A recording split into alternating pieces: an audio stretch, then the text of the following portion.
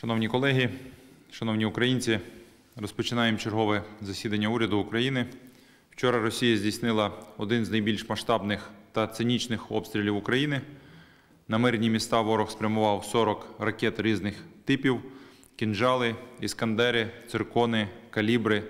Постраждали Київ, Дніпро, Кривий Ріг, Краматорськ, Слов'янськ. Загинуло станом на зараз 40 людей. Найбільше в Києві.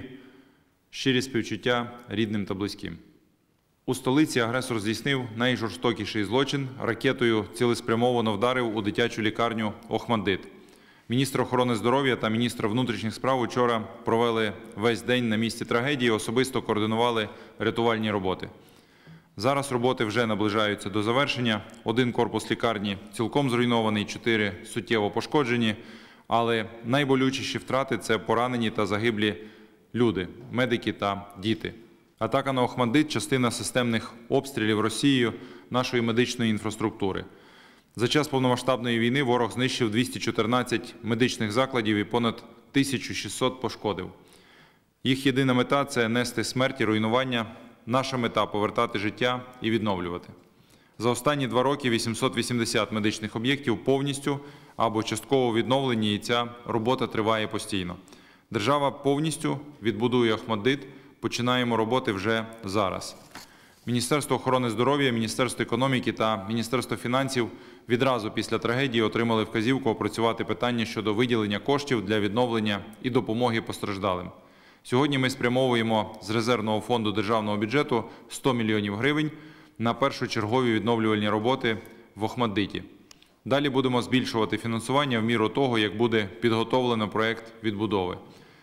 Кожній родині з дітьми, яка постраждала від вчорашньої атаки, разом з ЮНІСЕФ буде виділена допомога в розмірі 10 тисяч 800 гривень на кожного члена родини. Президент Володимир Зеленський поставив завдання в найкоротші терміни знайти локацію для переїзду лікарів та маленьких пацієнтів зі зруйнованих та пошкоджених корпусів. Такі локації вже знайдені.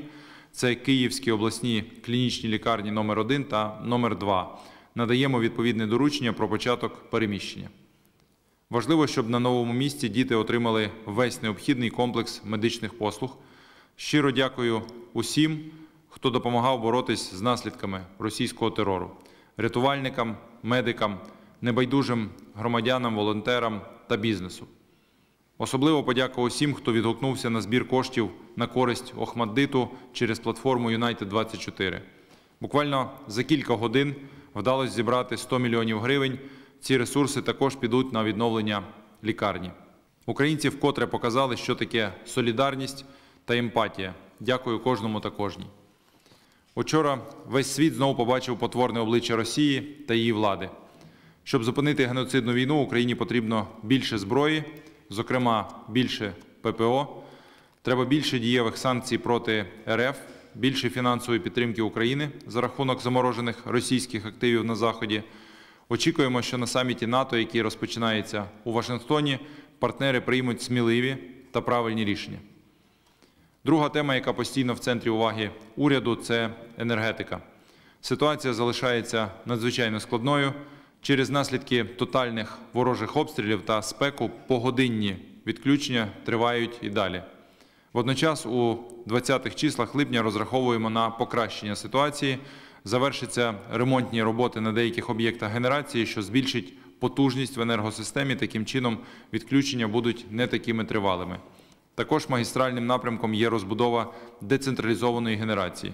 Уряд розробив і вже частково запустив комплекс заходів, що стимулюватиме громадян та бізнес до енергетичної стійкості.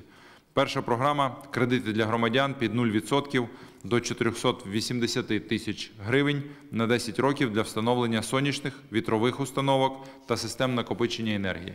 Друга програма пільгові кредити для малого і середнього бізнесу до 150 мільйонів гривень на строк до 10 років під 5, 7, 9 річних для встановлення газової електрогенерації. На територіях, що межують із зоною бойових дій, процентна ставка знижується до 1,5% на перші два роки, а кредити та інвестиційні цілі з наступного року можна буде взяти під 5% річних. Третя програма кредити для ОСББ та ЖБК на суму до 5 мільйонів гривень.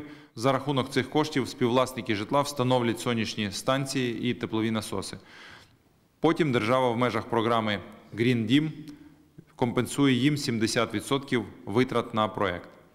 Четверта програма кредити для великого бізнесу на 5-7 років під 14-16% річних під заставу обладнання.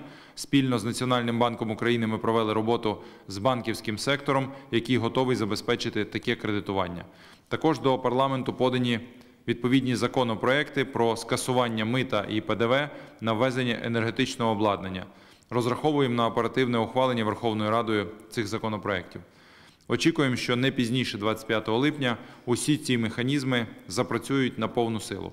Дякую нашим захисникам за оборону нашої держави. Дякую енергетикам та всім працівникам критичної інфраструктури за їхню щоденну роботу. Вдячний лікарям, вчителям, інженерам, представникам усіх професій, які роблять свій неоцінений внесок у нашу перемогу. Разом ми точно переможемо. Дякую за вашу увагу. Слава Україні!